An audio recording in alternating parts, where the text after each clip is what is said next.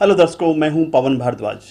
BNB news में आपका स्वागत है। आज हम आपको बताएँगे कि इस हफ़्ते की जो फ़िल्में रिलीज़ हुई हैं, उसका कैसा रिव्यू रहा, पब्लिक ने किसको पसंद किया, किसको नकारा। आइए आपको ले चलते हैं सिनेमाघर तक और जानते हैं दर्शकों की राय।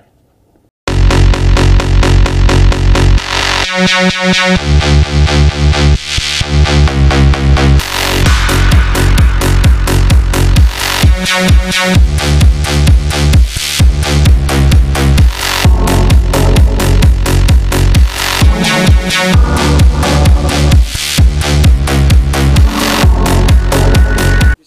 खान की सारी पिक्चर बढ़िया है मैं हर पिक्चर देखता हूँ और ये पिक्चर भी देखी सबसे बड़ा साथ में बढ़िया काम कर रहे हैं ज़बरदस्त फ़िल्म है सर एकदम फ़र्स्ट फंटेस्टिंग जो एक्टिंग किए हैं शाहरुख खान ज़बरदस्त है उसमें जो लैला लैला का सॉन्ग है ना मस्ती वाला सॉन्ग है सर देखना चाहिए फ़िल्म बहुत ज़बरदस्त है मतलब शाहरुख खान। खान की फ़िल्म काबिल से अच्छी है।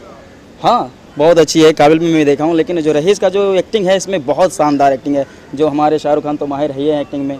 उनका एक्टिंग तो ज़बरदस्त रहता है फ़िल्म में। दोबारा देखना चाहोगे पिक्चर यस ऑफ़ कोर्स दोबारा क्या? चार पाँच बार मैं देखना चाहता हूँ। नवाजुद्दीन की एक्टिंग कैसे लगी? नवाजुद्दीन की एक्टिंग भी बहुत अच्छी है उसमें। पाँच में से कितने स्टार देना चाहोगे? फाइव यस हाँ बहुत सुंदर मुझे बहुत अच्छा लगा। ये फ़िल्म बहुत अच्छी है सबसे हटके है बिल्कुल अलग है और आज तक जितनी भी फ़िल्में आई मुझे बिल्कुल अलग लगे। शाहरुख भाई भी। के बारे में अरे क्या? बहुत बढ़िया यार वो तो सबके दिल की धड़कन है। शाहरुख भाई सलमान भाई पूरी इंडस्ट्री की धड़कन बन चुकी हैं। और फिर जब सबकी हैं तो फिर हमारी और आपकी भी है। नवाज़ की एक्टिंग कैसी रही? साहब नवाज़ साहब के बारे में तो बस एकदम उम्दा किस्म के एक्टर हैं अपने आप में अलग हैं और उनको कोई छू नहीं सकता। कितना स्टार दोगे? आ, जितना है टोटल दे दो फुल दे दो। फुल में फुल दे दो। चलो ठीक है। रईस बहुत अच्छी फ़िल्म है और भाईगिरी के ऊपर जिस हिसाब से इन लोगों ने फ़िल्म बनाई है और ख़ास करके इसमें जो हमारे हीरो हैं शाहरुख खान साहब उनका तो मैं पहले से फ़ैन रहा हूँ। शाहरुख खान का जो आपको बहुत पसंद है मतलब है? शाहरुख खान साहब का तो डायलॉग्स नहीं लेकिन उसका गाना जो है ना जो बोला है मैं आ रहा हूँ। ना वो तो है लेकिन उनका एक फेवरेट गाना जो है मैं हमेशा गुनगुनाते रहता हूँ। वो गाना है बाजीगर फ़िल्म का। हो मेरा दिल था अकेला तूने खेले ऐसा खेला तेरी याद में जागू रात। का किरदार कैसा रहा? इसमें गाना गाया आइटम डांस किया है ज़बरदस्त दबा बहुत अच्छी है और दिखने में तो खूबसूरत है ही और उनकी अदाएँ भी जो है बहुत अच्छी से उन्होंने पेश की है अपनी।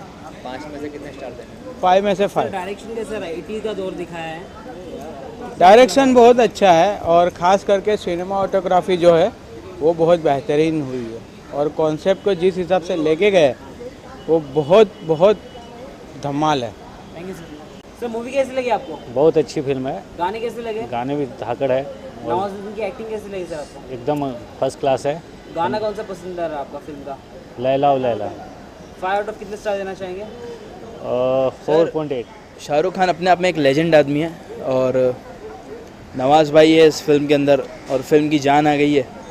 तो पूरा भाईगिरी के ऊपर है ये पूरी फ़िल्म और बताया कि पूरे गुजरात के अंदर के लाइक एक रईस कैसा बनता है एक रईस आदमी कैसा लाइक एक वो कैरेक्टर ही उसके अंदर एक जो चीज़ है वो रईस जो है कि अपने आप में एक मतलब पुलिस से नहीं डर रहा है किससे नहीं डर रहा है और अपने आप में एक लेजेंड आदमी है तो डायरेक्शन सब सब औसम है सर सब औसम है सब औसम है सीरियसली फुल फुल पाँच? क्या पूरा दस रहेगा तो दस भी दे देंगे सर